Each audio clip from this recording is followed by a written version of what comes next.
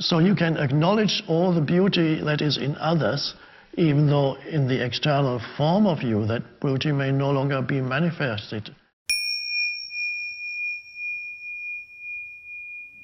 I often find myself comparing myself to other people, um, particularly my, my physical appearance compared to other women. Um, and it gets very tiresome, as you can imagine. Um, and I was wondering if you had any practical advice for, for helping dissolve this.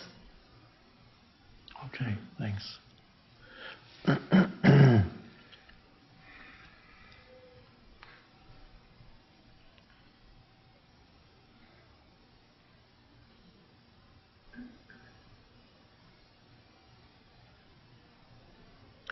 And I assume sometimes you come out as better than, and at other times as not as good as. Is that right? yes. and better than feels good, and not as good as doesn't. It all feels tiresome, to be honest. That's a good point to reach, to get tired of an old pattern uh, like that. Then you're ready to let go. Uh, as the Course in Miracles puts it, uh, comparison is one of the uh, favorite ego devices to keep the ego going, it, or it keeps itself going, especially by comparing, whether the comparing is to do with external appearance or comparing other things, uh, evaluating others in comparison to how in your own mind you evaluate yourself. It could be to do with knowledge, education, uh, class, social class, uh, strengths, physical strengths, um, how many possessions worth, he's worth such and such amount of dollars, and I'm worth so much more than he, or so much less than he, all kinds of things. Implied in that is a sense of uh, uh, a desire on the part of the ego to enhance its sense of worthiness. Uh, and if anybody has less than you, or appears less than you, or can do less than you in some somewhat nonsensical way, it seems to add something to your sense of self. Of course, it doesn't make sense. It's a it's a little bit absurd, but that's how the ego functions. And in reverse, uh, if somebody it feels to the ego as if somebody has just achieved something or that you haven't achieved. It feels to the ego as if some, something of its sense of self had been taken away. so it gets deflated and, and is not happy. The, if you're really trapped in ego, you are not happy when somebody good something good happens to somebody close to you. because it feels to the ego as if it had become diminished because something, somebody else has become enhanced their identity in the eyes of the ego. It's all you can see when you explain it in this way so that you can actually see how it operates, then you actually realize that, that it is absurd to feel there's now less, you have become less because somebody else has received more of something or can do something that you can't do. and so you can see how uh, unreal that sense of identity is. You feel diminished because something good has happened to somebody close to you. And in some cases, if the ego is very strong in you without any trace of awareness, You cannot even admit to yourself that you feel bad when, when something good has happened to somebody close to you. it's, it's there as an unreal, an unwitnessed emotion, and then it might come out uh, in your, uh, when you speak to that person with a desire to diminish what they now have that you don't have. And it's totally unconscious. With you, you are not totally unconscious. There's already an awareness in you that is aware of that pattern. If there were no awareness in you, you wouldn't be asking that question. You wouldn't be sitting here. You would be acting out that pattern. And next time somebody in your vicinity has a just bought a new dress that looks absolutely stunning, you would look at it, if you were totally trapped in ego, you would look at it and, and something inside you would contract. But you wouldn't know that because there wouldn't be enough awareness for that. But that contraction as an energy field would then flow into your mind. And then words will come out of your mouth, again unconscious, to diminish the worthiness of that dress. And you might say, Oh, that dress, that would look good on your sister.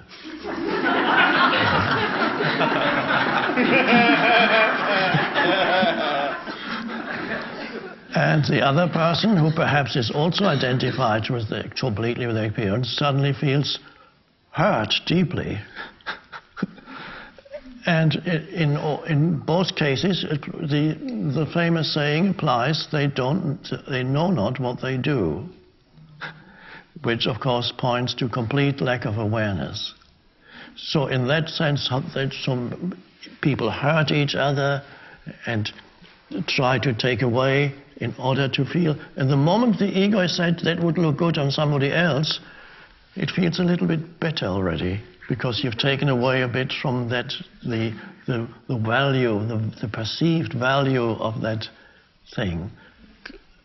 It's an insane, it's a delusional system.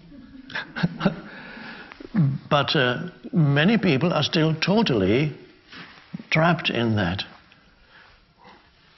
Not, in, not with you, of course, that's not the case with you. You're not totally trapped. It still operates in you to some extent, but not totally trapped. Uh, so it is there is some connection with value, my, my, your own sense of worth or worthiness, which is uh, connected to your external appearance.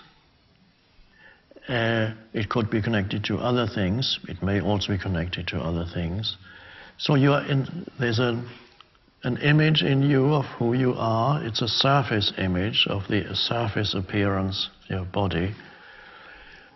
And the solution, of course, is very simple. It's uh, to take your attention beyond the surface, where it usually is, the surface of your body, the surface of that which is on top of your body, the clothes, take your attention deeper to the inherent energy field or aliveness or conscious presence that pervades who you are, the entire being. Nothing to do with the external, nothing to do with the shape of the body or what's on top of the body. And if that if you begin to go there into that dimension, take your attention into that dimension where you are not the external form, but you sense the very essence of who you are, you sense the life that you are beyond the form, then you no longer need to identify with form. You're no longer then threatened when somebody else's form is seemingly better than yours. It no longer does anything to your sense of identity or your sense of worthiness. And then you're free. And you're free to ad- admire somebody else's good looks. And you're free to be happy with the way you look for the time being until years pass.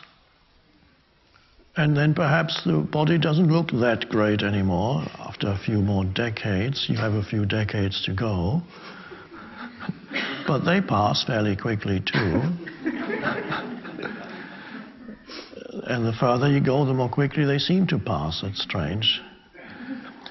And, and so the time comes when you notice a deterior- deterioration in the appearance, and then you begin to notice that most women around you actually look better than you for the simple fact that they're younger. and you can appreciate the way they look because they, they are a manifestation of life. An external manifestation. They are life forms, beautiful life forms, without feeling threatened in any way in your own sense of self because the life of which those lovely women around you are manifestations, you can sense that very life in its essence in you. So you can acknowledge all the beauty that is in others, even though in the external form of you that beauty may no longer be manifested uh, as such. So, and that's wonderful freedom to appreciate the beauty that you see around you, even if your own body is no longer part of that. Because the, the, the, there is a beauty in you that has nothing to do with form. And that one could call that the essence of all beauty. That's the very essence of life itself. So when you have the essence, you, you appreciate the external manifestation of it in its so-called, one could say, diluted form in the flower. Now, most egos are not threatened by flowers, but in, a, in another human being, you can appreciate the beauty in another human being. With, and the comparison, the compulsive need to compare disappears. There isn't, oh, what about me? Do I look as. That, that thought pattern dissolved long ago by the time you reach the point where most women will externally look better than you, by the t- then it's disappearing already, so you don't need to wait a few more decades to get there. or the ego can say, okay, I have another 30 years of, I can identify with my good looks.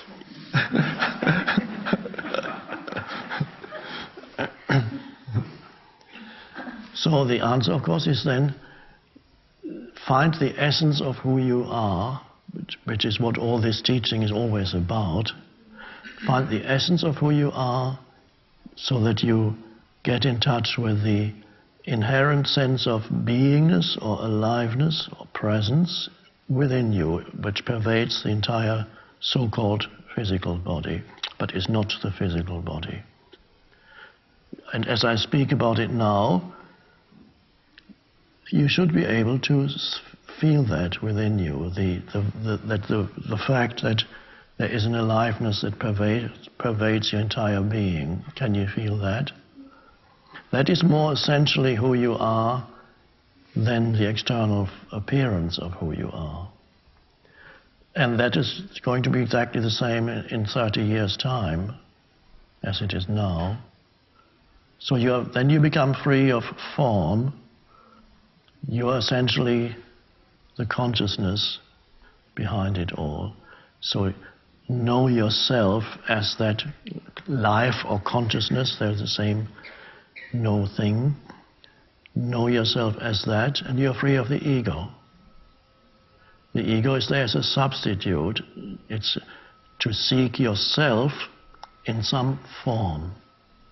It's a, that's the delusion and that it creates an unhappy life.